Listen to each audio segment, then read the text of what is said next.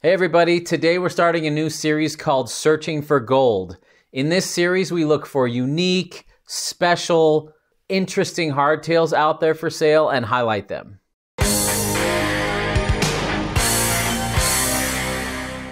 Today's video is sponsored by the Pros Closet. They have over 700 certified pre owned mountain bikes in stock, ready to ship today. And any purchase you make from the Pros Closet using the code below supports this channel. It doesn't cost you any extra money and you get free shipping. All right, let's see what we can find. We are at the Pros Closet. Let's shop for mountain bikes. Now, the Pros Closet also has components if you're looking for forks or cranks or chain rings. They have those too, and some of their stuff's new. It's not all used. Let's go to mountain. Oh, sweet. They know I love hardtails and they've linked the word hardtails. Let's just click that and filter it. Woo, so many hardtails. Let's see if we can find something unique. Let's start at the bottom and work our way up. Now, brand new bikes aren't always better than the older ones. For example, the new Santa Cruz Chameleon. Awesome bike for a certain type of riding. I think that bike's fantastic over 20 miles an hour.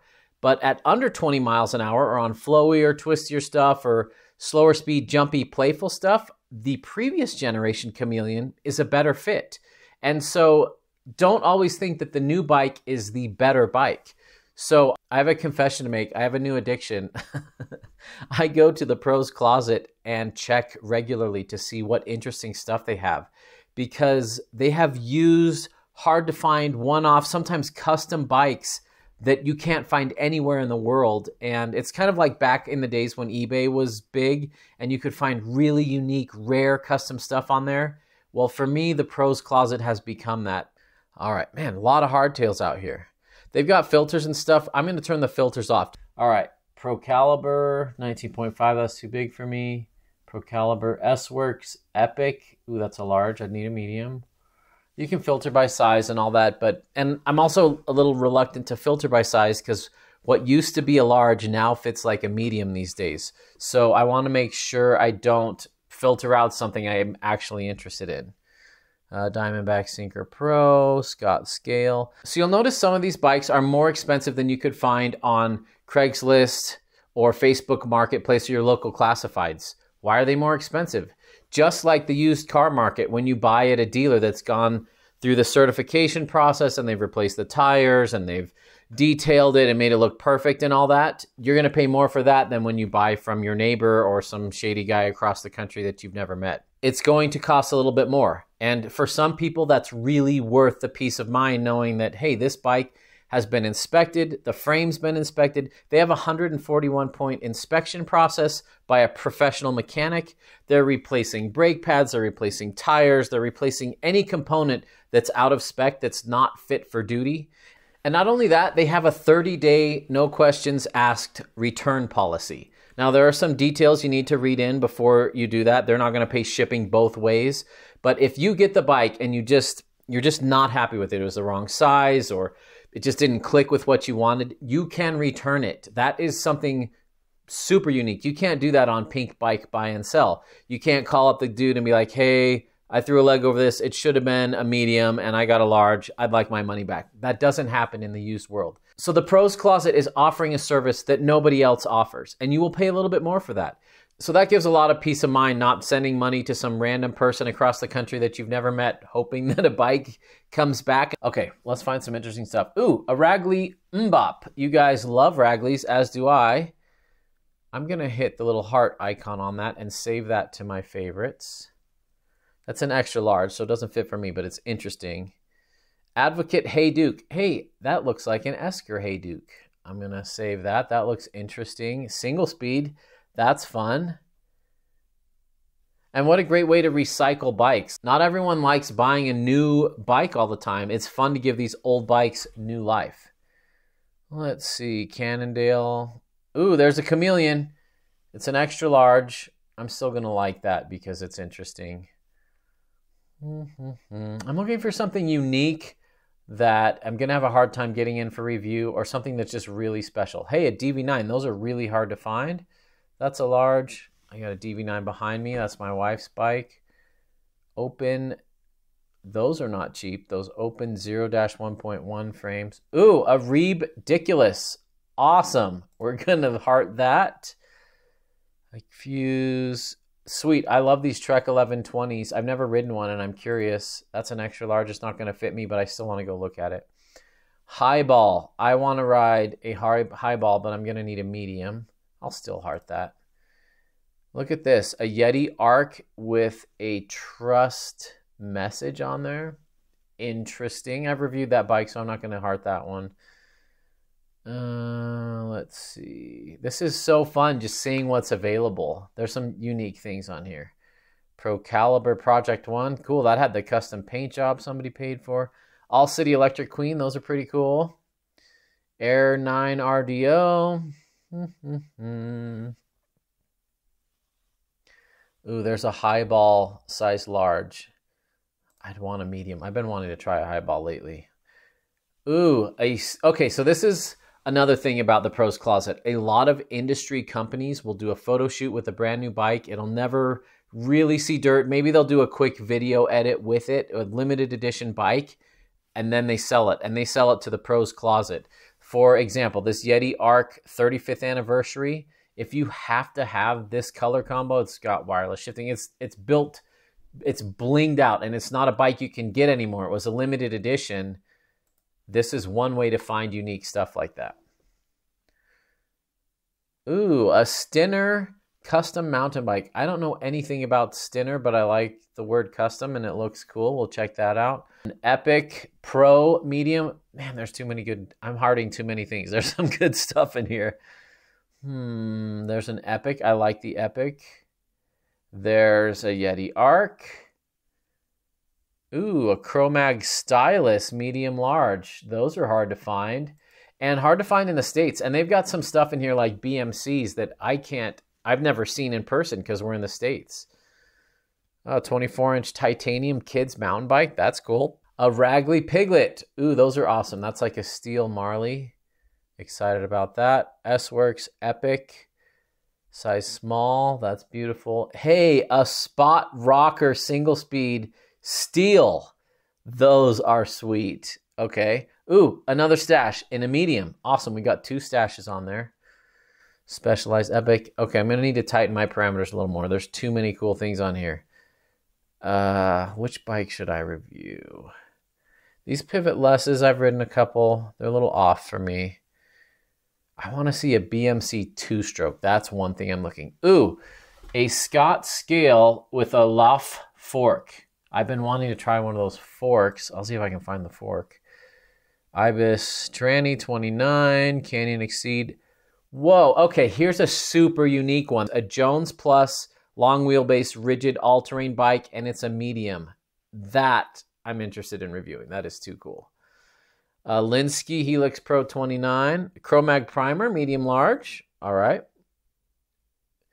Um, what else we got?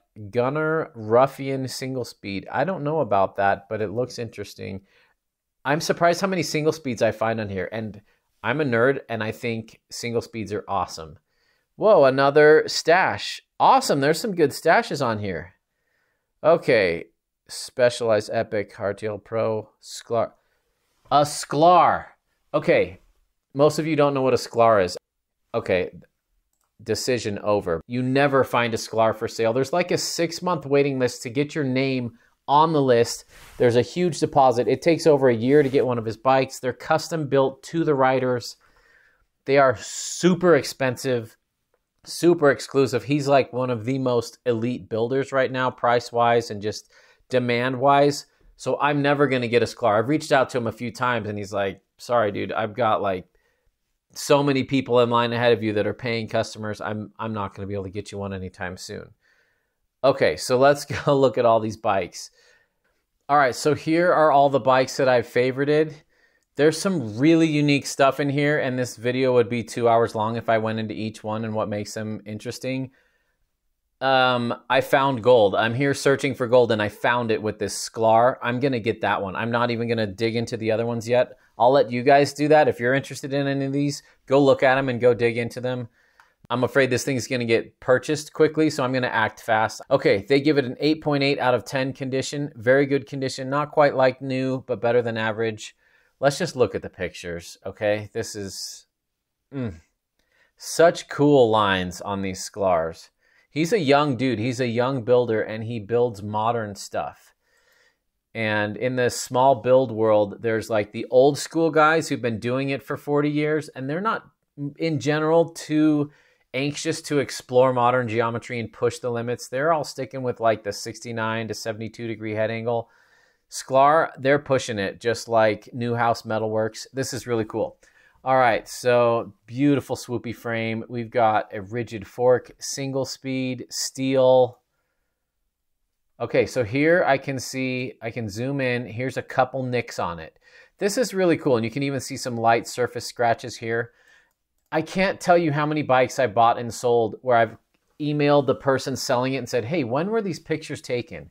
And they'll tell me, oh, actually, I took that three years ago when I bought it new. So they're showing the pictures, not how the bike looks today, but how it looked when they first bought it. So, of course, it looks great.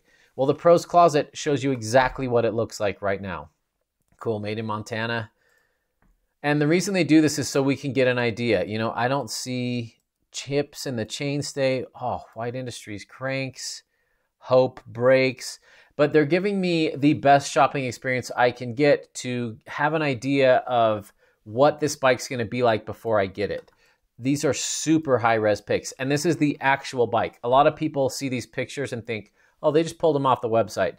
No, the Pros Closet has a dedicated photo team just taking photos of these. Sliding dropouts. Mm, this thing is so cool. I'm sorry if you're not nerding out like I am. This is really special though.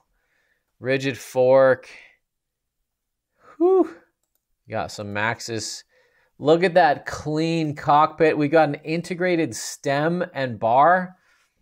Oh, this is cool. So cool. Interesting how the cable goes around there. What a beautiful picture. This thing has such good lines. These are big tires. So I'm betting they went through and put in new grips. They do things like that. And so they get the bike fresh and ready to go. So when you get it, you just ride. You don't need to worry about replacing brake pads or tires or whatever. All right, here's a scratch, probably down to the primer. That's good to know on the seat tube. Appreciate them highlighting that. Whew, that is a beautiful bike. Okay, I gotta hurry. I want this thing. Let's learn a little bit more about it. Upgrades New WTB Silverado. Lightweight and slim saddle. The design oozes speed while pr- proving to be incredibly comfortable. So they've upgraded the saddle. Who knows what it had on it before, but uh, the mechanics saw it and decided this needs a more up to date saddle. New Origin8 Pulsion, Pulsion locking grips. New TRP brake rotor. So there's a new rear rotor. Maybe the old one was bent or had a little bit of surface rust. New bottom bracket. Awesome that they replaced that. New Race Face XC trail seat post. Okay, we got a rigid post on there and a new chain.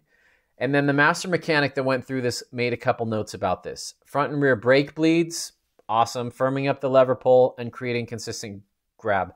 So a lot of times when you buy used, you have to either do a tune up yourself, which is no problem for mechanics like myself and some of you. But some of you don't want to buy a bike at the edge of your budget and then go take it to your shop and spend another 150 bucks to get it tuned up to work. So that's part of what the Pros Closet does as well is tune it up, get it ready to go. Light scuff on drive side seat stay. So they've got their 141 point inspection, 30 day hassle free returns. If I buy this and I'm just like, you know, I thought it was going to be cool, but I can't do a rigid here. I'm able to send it back to them. Now, uh, there's there's details to that. Like I'm to have to pay return shipping, but I'm not to be stuck with this $4,300 bike that I don't love. Pretty awesome that we can do that.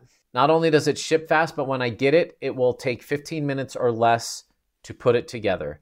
And they will include all the tools. I've never bought a bike from the pros closet, so this will be interesting to see. So let's nerd out on the specs. We struck gold on this thing. It's expensive, but just the Sklar frame, look at what those cost, and we're getting a complete bike. This is pretty exciting. So 2018 Sklar, uh, custom model, size medium, steel, one by one. It they have the actual weight, 25 pounds four ounce. That is not bad for a 29 plus steel frame. And this thing has carbon wheels too. I saw those Santa Cruz Reserve carbon wheels. Sklar made the fork. It's a rigid steel fork. No travel in the back, just your knees. Hope Tech 3 hydraulic brakes, threaded bottom bracket. White Industries 30 tooth uh, with a 20 tooth in the rear. Awesome. I can push that all day long. A 30 tooth with a 20 tooth. That's a nice spinny single speed. 175 mil cranks. These White Industries cranks are awesome. Uh, made in the US. I'm excited to see those in.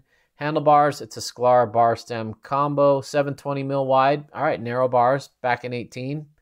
White Industries headset, Sklar bar and stem, race face seat post, WTB Silverado saddle. That's my favorite saddle. 12 by 100 front spacing. It's non-boost 12 by 142 rear, which is fine for single speed. Santa Cruz Reserve 30 carbon wheel set with Chris King hubs. Okay, so people are going to be freaking out that this bike is $4,300. Have you seen what a carbon reserve wheel set with Chris King hubs goes for? That's probably a $2,500 wheel set, just the wheel set. And these have been inspected by their mechanic. There are not going to be any cracks, no issues with the wheels. They true them up, they get them all ready. It's running DHF's 29 by 26 front and rear, and they look pretty new. Bike ships tubeless. Awesome.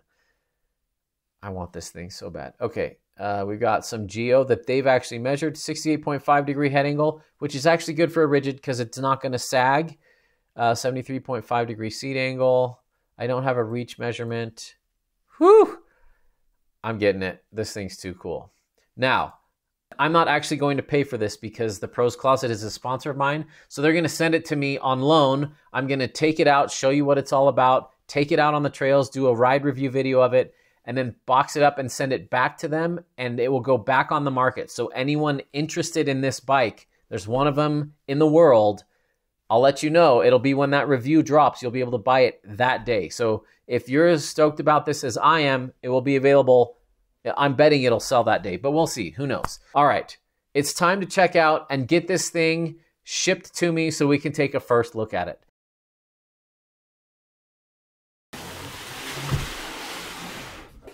So excited to check this out.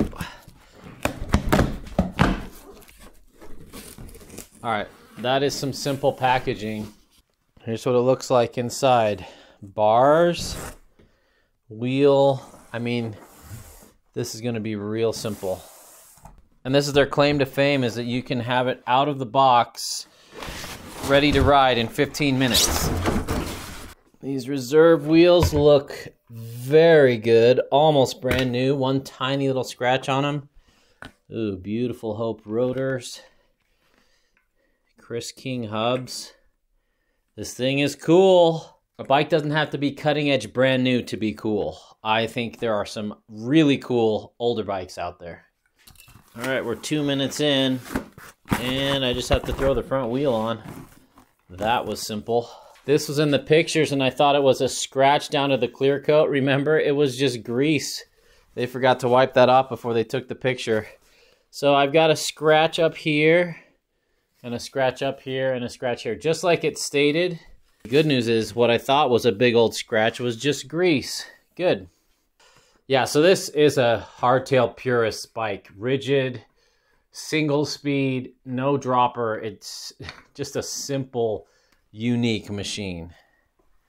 Now I just need to throw some pedals on and air up the tires and this thing will be ready. For pedals, I'm giving you a sneak peek at a product that's not quite on the market yet. These are 5Devs flat pedals. They are absolutely gorgeous. I will show you more of these in more detail later, but uh, they're what I want to throw on here today. First bike I've had with White Industries cranks. I remember these were all the rage in the 90s. They're still made in the US. I've been trying to get some to feature on a build, and demand is so high even now that I'm having a hard time getting them for a build. This thing is clean. If it was my bike, I'd touch it up with some red nail polish or I'd hit up Sklar and find out what exact color he used and get a little touch up bottle and just touch it up. It'd be perfect. Man, there's some cool stuff going on. Ovalized tubes that flare out. The down tube is ovalized. Beautiful looking build. Just, he has such a good eye for aesthetic. Oh, this is so cool. Awesome. That Chris King hub sounds amazing. This is in way better shape than I expected. It's funny, you see them on your computer, you see the little dings, and they look so much bigger on the screen blown up, and then you get it in real life. Looks really good. Okay, got lizard skins grips. Another little ding on the handlebar that I didn't see. So, oh, those brakes feel really good. They just bled those. This is one of my favorite shop tools. If you don't have one of these yet, get it. I've got a link in the description below. And all the tools that I use, head over to my toolbox tour. I've got some really useful links in there to the greases that I use, to the tools, all the little tips that make building bikes easier. Oops. All right, these are two sixes, so I'm gonna go, let's say 22 pounds. I'm digging these brakes too. Man, this whole build is just beautiful. And most people in the mountain bike world would not see this as a beautiful bike. They'd skim right past it and move on because it doesn't have a dropper, it doesn't have a Fox suspension, it doesn't have gears. This has some really special stuff going on that only the hardtail nerd would appreciate, I think. Oh, one thing about Sklar's, because the top tube's humped, your brake levers can definitely still scratch the top tube. It's been a while since I've had something like that. We struck gold. I was searching for gold. I struck gold. This thing is so cool. It might not be what you guys would have chosen, but it might be. I'd be curious to hear out of all those bikes I looked at and favorited, which was your favorite? There's some cool stuff. What would you have gone with? I am thrilled about this White Industry headset, Chris King hubs, Hope brakes, White Industries cranks, single speed, White Industries bottom bracket, just a simple, pure, beautiful bike. I'm going to be reviewing this thing and taking it on the trail to let you know what I think of it. If you're looking for something unique that's hard to find and you don't mind searching a little bit to find something great, go check out theproscloset.com and make sure to use the link in the description below. That will support this channel and let them know that you saw it here and help them send me more cool bikes like this for future reviews. This thing is awesome. I can't wait to show you what it rides like on the trail. Thanks for watching. There's a party in the mountains and you're invited.